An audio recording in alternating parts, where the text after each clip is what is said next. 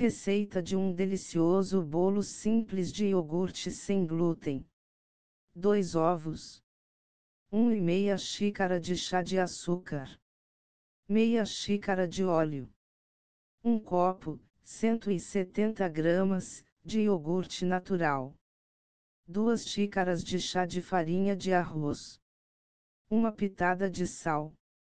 2 colheres de sopa de amido de milho. 1 colher de sopa de fermento em pó. Em um liquidificador, coloque os ovos, o açúcar, o óleo, o iogurte e bata até tudo se incorporar bem. Adicione a farinha de arroz, o sal, o amido de milho e bata até ficar homogêneo.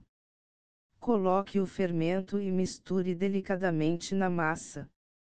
Transfira a massa para uma forma com furo central, 24 cm de diâmetro, untada. Leve ao forno pré-aquecido a 180 graus por cerca de 40 a 45 minutos. Agora é só servir.